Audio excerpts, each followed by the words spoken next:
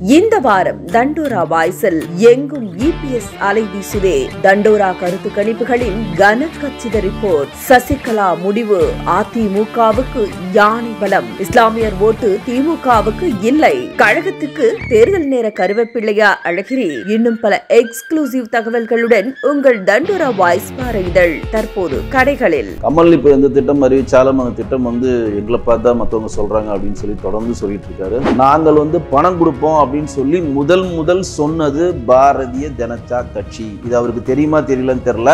கமல் சொல்றது உண்மையா? திரு ஸ்டாலின் அவர்கள் சொன்னது உண்மையா? மற்றவர்கள் சொன்னது உண்மையா? நீங்களே தெரிஞ்சுக்கணும். இந்த திட்டத்துக்கெல்லாம் முன்னோடியான திட்டத்தை கொண்டு வந்தது பாஜக. கமல் போன்ற புழுகு மூட்டைகள் என்ன பண்றாங்கன்னா தான் பெரிய அறிவார்ந்த சிந்தனை உடையதும் தான் தான் திட்டத்தை அறிவித்த மாதிரி இங்க கட்டமைக்கிறாங்க.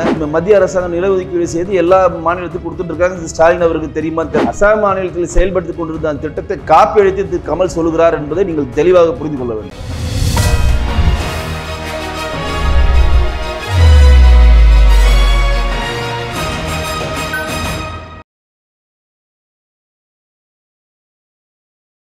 சார் வணக்கம் சார். வணக்கம். சமீபத்தில் திரு கமல்ஹாசன் அவர்கள் வந்து திமுக எங்கள் திட்டத்தை காப்பி அடித்து அவங்களுடைய கொள்கையாக சொல்லிக்கிட்டு இருக்காங்க அப்படின்ற மாதிரி விமர்சனம் பண்ணியிருந்தாரு. அதை பற்றி உங்களுடைய பார்வை என்ன சார்? கமல் இப்போ எந்த திட்டம் அறிவிச்சாலும் அந்த திட்டம் வந்து எங்களை பார்த்தா மற்றவங்க சொல்கிறாங்க அப்படின்னு சொல்லி தொடர்ந்து சொல்லிட்டு இருக்காரு. குறிப்பாக அவர் வந்து தேர்தல் பரப்புரைக்கு முன்னாடி ஒரு விஷயத்த சொன்னார். நாங்கள் இப்போ வந்து தேர்தலில் நாங்கள் என்னென்ன செய்வோம் அதாவது வென்றெடுத்து வந்த பிறகு நாங்கள் என்னென்ன வாக்குறுதிகள் கொடுத்து மக்களுக்கு நிறைவேற்றுவோம் அப்படின்னு சொல்கிறத நாங்கள் வந்து சொல்ல மாட்டோம்.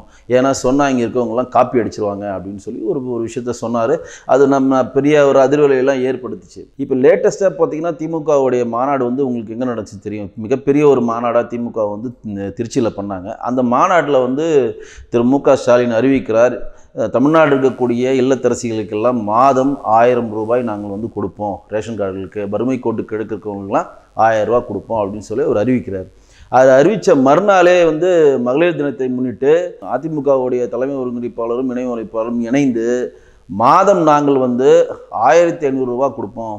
வறுமை கோட்டு கீழே இருக்கவங்களுக்கு அப்படின்னு சொல்லி திரு எடப்பாடி அவர்கள் அறிவிக்கிறாரு. அது மட்டும் இல்லாமல் ப்ளஸ்ஸாக வந்து வருடத்துக்கு ஆறு சிலிண்டர்கள் நாங்கள் இலவசமாக கொடுப்போம் அப்படின்னு சொல்லி அறிவிக்கிறார். இப்போ வந்து இந்த போட்டி போடுக்கொண்டு டிஎம்கே ஏடிஎம்கே இது அறிவிச்சிட்டுருக்கு இந்த நேரத்தில் கமலஹாசன் உடனே வந்து அதுக்கு சொந்தம் கொண்டாடுறாரு. என்ன கொண்டாடுறாருன்னா நான் தான் முன்னாடி அப்பயே சொன்னேனே எங்களோட திட்டங்களை தான் வந்து ஸ்டாலின் அவர்களும் திரு எடப்பாடி அவர்களும் காப்பி அடிக்கிறாங்க. அந்த இல்லத்தரசிகளுக்கு நாங்கள் ஆயிரம் ரூபா கொடுப்போம் அப்படின்னு நான் சொன்ன இங்கே இருக்கலாம் இல்லத்தரசிகளுக்குலாம் நாங்களுக்கு வந்து உரிய பணம் கொடுப்போம் அப்படின்னு சொன்னோன்னா இங்கே எல்லாம் இருக்கவங்களாம் கேலியாக பேசுகிறீங்க இப்போ என்னுடைய திட்டத்தை காப்பி அடித்து தான் திரு ஸ்டாலின் வந்து திருச்சி மாநாட்டில் அறிவிச்சிருக்காரு. அவர் ஆயிரம் அறிவிச்சதுனால எடப்பாடி அவர்கள் ஆயிரத்தி ஐநூறுரூவா அறிவிச்சிருக்காரு அப்படின்னு சொல்லி இன்றைக்கு தமிழ க கமல் அவர்கள் எல்லா இதிலையும் பரப்புரை செய்கிறார். நம்ம வந்து மக்கள் நீதி மையத்தினுடைய தலைவர் இருக்கக்கூடிய கமல் அவர்களுக்கு ஒரு விஷயத்தை தெளிவுபடுத்த விரும்புகிறோம். இல்லத்தரசிகளுக்கு நாங்கள் வந்து பணம் கொடுப்போம் அப்படின்னு சொல்லி முதல் முதல் சொன்னது பாரதிய ஜனதா கட்சி. இது அவருக்கு தெரியுமா தெரியலன்னு தெரில இங்கே இருக்கக்கூடிய ஊடகங்கள் பாரதிய ஜனதா கட்சி எவ்வளோ நல்ல விஷயங்களை செஞ்சாலும் அதை மறைக்கின்றன.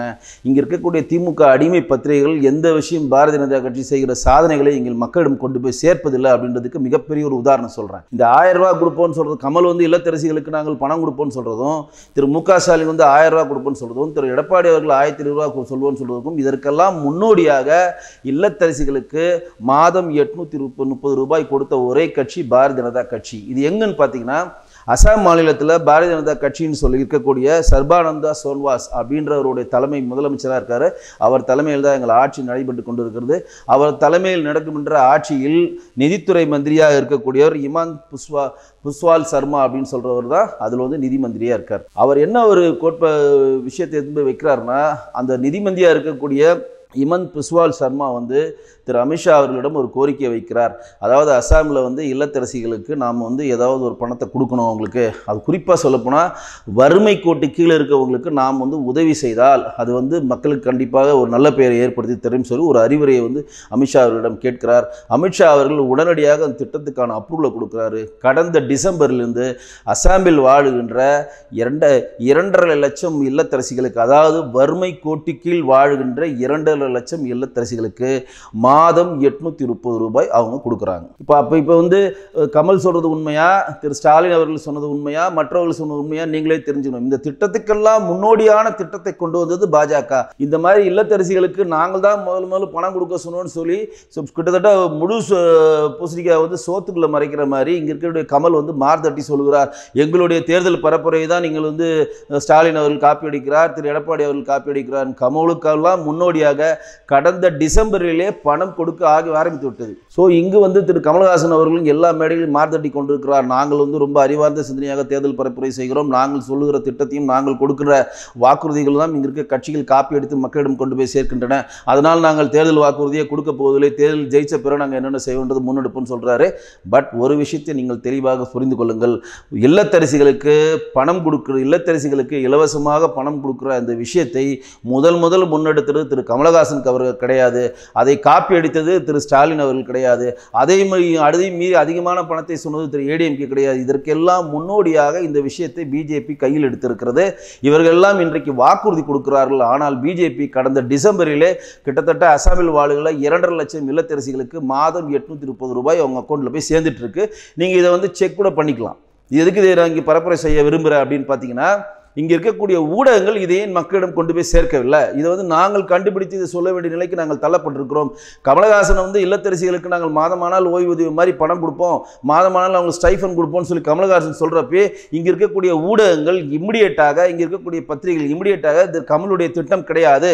இது பாரதிய ஜனதா கட்சி திட்டம். இது அசாம் மாநிலத்தில் திட்டம் செயல்பட்டு கொண்டு இருக்கிறது பாரதிய ஜனதா கட்சியை சேர்ந்த அங்கே ஆளுகின்ற மாநில அசாம் மாநிலத்தில் அங்கே ஆளுகின்ற தலைமையில் கிட்டத்தட்ட எட்நூற்றி முப்பது ரூபாய்க்கு இல்லை ரெண்டரை லட்சம் இல்லத்தரசிகளுக்கு பணம் கொடுத்து கொடுத்து கொண்டிருக்கிறார்கள்.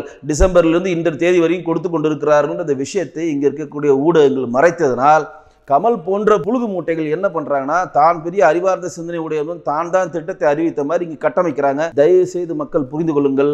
கமல் அறிவித்த திட்டமாகட்டும் திரு ஸ்டாலின் அறிவித்த ஆயிரம் ரூபாய் திட்டமாகட்டும் கமல் வந்து இல்லத்தரசிகளுக்கு நாங்கள் வந்து பணம் கொடுப்போம்னு சொல்ற ஒரு திட்டமாகட்டும் ஸ்டாலின் அவர்கள் மாசம் ஆயிரம் ரூபாய் கொடுப்பேன்னு சொல்ல திட்டமாகட்டும் ஸ்டாலின் ஆயிரம் ரூபாய் கொடுத்தால் நாங்கள் ஆயிரத்தி ரூபாய் கொடுப்போம்னு சொல்லி எடப்பாடி அவர்கள் சொன்ன திட்டமாகட்டும் இந்த எல்லா திட்டத்துக்கும் முன்னோடியாக ஆல்ரெடி இந்த திட்டத்தை செயல்படுத்தி பணம் கொடுத்திருக்கின்ற ஒரே கட்சி பாரதிய ஜனதா கட்சி அது அசாம் மாநிலத்தில் இன்று வரை நடைபெற்றுக் கொண்டிருக்கிறது.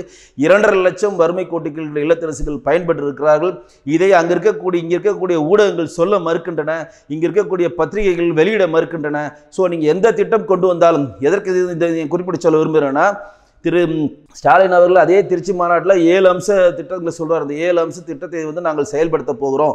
இதுதான் இந்த வந்து நாங்கள் நாங்கள் ஆட்சிக்கு வந்தால் இந்த திட்டத்தை செயல்படுத்தி தான் நாங்கள் முன்னெடுப்போம் அப்படின்னு சொல்கிறாரு அந்த ஏழு அம்ச திட்டமும் பிஜேபி ஆல்ரெடி செயல்பட்டு கொண்டிருக்கிற திட்டத்தை தான் மேலோக்கி காட்டுறார் வேளாண்மை திட்டச்சட்டம் விவசாய சட்டத்துக்கு இரட்டி பார்க்குறன்ற சட்டம் தான்.